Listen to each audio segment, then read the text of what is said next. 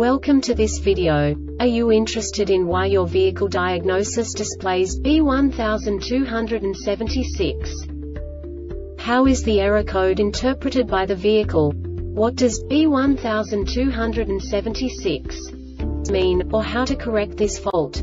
Today we will find answers to these questions together. Let's do this. First, let's look at the history of diagnostic fault code composition according to the OBD2 protocol, which is unified for all automakers since 2000. We divide the electric system of automobile into the four basic units. Powertrain, body, chassis, network. This distribution is defined in the first character code. If the second character is expressed as zero, it is a standardized error. In the case of numbers 1, 2, 3 it is a more prestigious expression of the car-specific error. The third character specifies a subset of errors. The distribution shown is valid only for the standardized DTC code. Only the last two characters define the specific fault of the group. Let's not forget that such a division is valid only if the other character code is expressed by the number 0.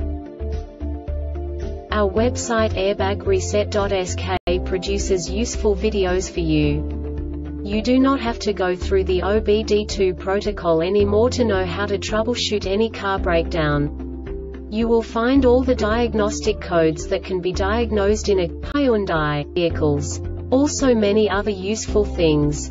The following demonstration will help you look into the world of software for car control units. You unbelievably can move the video a bit further. The error code is split into two bytes consisting of 16 bits. One bit is the basic unit that each computer works with. The bit has two logical states. 0, low level, 1, high level. By combining the first two bits, the basic character of the error code is expressed. The next two bits again determine the second character. The last beat styles of the first byte define the third character of the code. The second byte is composed of a combination of 8 bits. The first 4 bits determine the fourth character of the code. And the combination of the last 4 bits defines the fifth character. A single byte conceals 256 possible combinations. We now know in what way the diagnostic tool translates the received information into a more comprehensible format. The number itself does not make sense to us if we cannot assign information about it to what it actually expresses. So, what does the diagnostic trouble code B1276 interpret specifically Hyundai car manufacturers? The basic definition is Air mix potentiometer vent short pipe console.